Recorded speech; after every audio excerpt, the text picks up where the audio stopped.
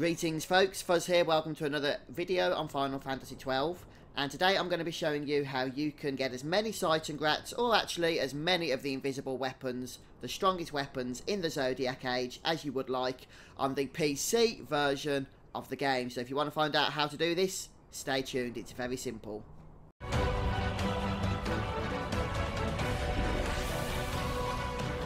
Okay folks, for the sake of this tutorial then, I'm going to be starting on a clean save file uh, that has absolutely no Seitengrats at all. So I can show you from start to finish exactly how to do this. It's very easy. And once you've got it going, you can get as many of these weapons as you want. It doesn't just work for Seitengrat, by the way. It works for any chest in the game.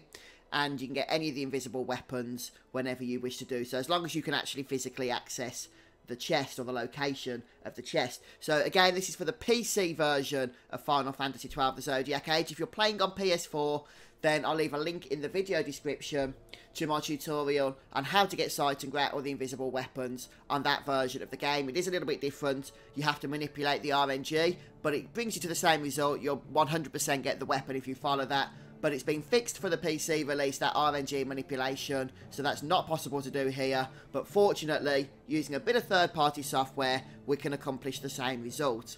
So thank you to Simas and Alma over at my live chat stream uh, for bringing this method to my awareness. I appreciate that very much. And Simas has also made a video on this, so just in case I miss anything, I'll leave a link to his video as well in the description. Alright, so as mentioned, you are going to need to download a small piece of third-party software. As always, guys, if you're following my tutorials, when you download software, you do do so at your own risk. I've not had any problems with using this software, uh, but again, I'm not going to be held responsible should you. Okay, so with the game running then, it doesn't matter if it's running at this point, but I'm just going to keep it running for the sake of it. We're going to head over to uh, the website where we can download this software. Just bear with me as I bring it up here and it's cheatengine.org. I'll leave the link to this down in the video description as well.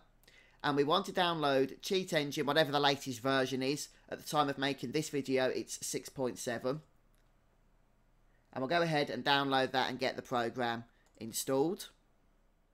One thing I would like to note while we are installing Cheat Engine here is you do get the option to install some bloatware, which you're probably not going to want to do. Okay, here we go. So I'm going to go ahead and untick this checkbox here. I recommend you do the same as well. And then that's pretty much it. It's very easy to install. So Cheat Engine 6.7 is open, and I know it's going to look complicated, but trust me, just do what I do, and it's really quite simple. There's one more thing we need to do, though, and that's import the table that's going to allow this little cheat to work. So we're going to go over to this website. I'll once again leave a link to this in the video description. And this file, which is the table for Cheat Engine for Final Fantasy XII Zodiac Age, is being updated quite regularly by the author. And I'll just give credit to the author here. It's Drummer9. So thank you, Drummer9, for providing this for us. And just go for the top file, which will be the most up-to-date version. In my case, this is version 9.7. So we'll go ahead and save the file here to our computer. With Cheat Engine downloaded then, and with the file downloaded that we've just downloaded, the one that ends in .ct. We're going to double click that, or you can open Cheat Engine and open the file using this icon. And you'll see this description down here, Final Fantasy XII The Zodiac Age. Now, the first thing we need to do before clicking this active box is actually loading the game into Cheat Engine. So make sure the game is running in the background here, and go ahead and select the process that has Final Fantasy XII The Zodiac Age in its name. And then we'll go ahead and click open. And then all we need to do is click active here and then click this enable button here and this can take a moment, just give it time. Once it's loaded, click the scripts option. If you haven't loaded Final Fantasy XII, by the way, into the Cheat Engine program using this icon here, then you won't be able to do this. So if you can't do this, just double check you did load the process correctly and there's numerous options you can play about with, but for the purposes of this walkthrough, there are two that we are interested in, and they are Treasure Chest Always Appear. So the chest that Seitengrat appears in normally has a 1% spawn chance. This will now make all treasure chests in the game, including this one, 100%. And then the option above it, we're going to select that option. and then we're going to select item rarity here. And what this is going to do is make items, rare items that require the diamond armlet equipped to always appear when it is equipped. And that's it, that's all we need to do. Just make sure you keep this program running. Once the program is closed, these will be turned off by default. So this is not a permanent thing, but the, once you've looted the weapons or whatever it is you loot, they will be permanent. But you can turn this on and off uh, whenever you want to use it. And what you want to do then in order to access the chest is make your way over to Rabanastre and enter the aerodrome. So you can do this at any point in the game, even very early on, as long as you can access the aerodrome. And you're going to want to fly to Nalbina. And when you get the option, you want to select Leisure Craft. So right now, we've got Cheat Engine running. And I have done a fair bit of testing with this. It's worked out quite well. It hasn't crashed the game or anything like that. But I haven't played about with the other options yet, so make sure you make backups of your save. I would recommend doing that just in case anything does go wrong before uh, loading Cheat Engine up here. But as I say, I've not had any issues with the software whatsoever. And I'm afraid we will just have to just skip through some of this dialogue stuff.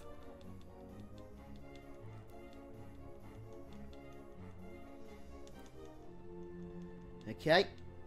And once we've got control of Vaan here, the first thing you need to make sure you do is have the diamond armlet equipped. Without it, you cannot loot Seitengrat. So make sure Vaan, and it has to be Vaan because he's the only character you can control at this point, has diamond armlet. If you don't have the diamond armlet, it's very simple to get. Just load up trial mode and you can open it in the chest, in one of the two chests, in the first trial mode stage. So very, very easy indeed. And with the item equipped, we can just run up the stairs here. Not have to worry about timings or anything like that as we do on the PS4 trick. And you'll see the invisible chest is here. We can't run past it. Well, we can at the sides, but you can feel that it's there.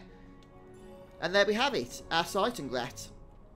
A lovely, powerful weapon. I'll just show it to you briefly. Massive attack power and decent evade as well. And the good thing about the invisible weapons is they don't require any job in order to equip them. And because the cheat engine is still active, we haven't turned it off at any point, we can literally repeat this as many times as we want by exiting the area and re-entering the area in order to respawn the chest. And it's back. So there's our second Seitengrat. Oh, this is... It's sickening, really, isn't it? I think a lot of uh, poor PS4 players are going to be really annoyed with us. I'm only joking, of course. I know not everybody's going to want to do this trick, but I know a lot of you are as well. So I have done this on a backup save file since I'm not too concerned about having Seitengrat in my main playthrough for those that are watching me on the live stream as well. So I've got three in what? 10 seconds or about 30 seconds having made our way to the location. And I can get all six so that every character can equip one if I want to. In a very short amount of time.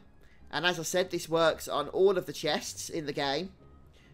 In particular, the chests that contain these invisible weapons. So that's Seitengrat, which is here. The Gendarme shield, a very, very, very nice shield indeed.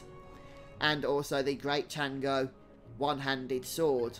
A fantastic tank, uh, tanking sword that you are going to want to get. But guys, let me know what you think of this and how you find this method, if it works smoothly for you. And also let us know as well if you use any of these other options that Cheat Engine provides. I haven't really looked at them myself yet, but I think that's enough Seitengrats for one day, so I'm going to leave it there for now. And thanks again to those that have made this particular method available to us and for bringing it to my attention as well. You can check the video description for a link if you want to purchase the PC version of Final Fantasy XII. I'll leave a discount code for you uh, with that as well. And that does support my channel, so thank you very much. Uh, plus you get the game cheap as well, which is a win-win for us all. But that's it for this tutorial, guys, so thanks for stopping by. And I'll see you all next time for more Final Fantasy XII. Cheers all, take care.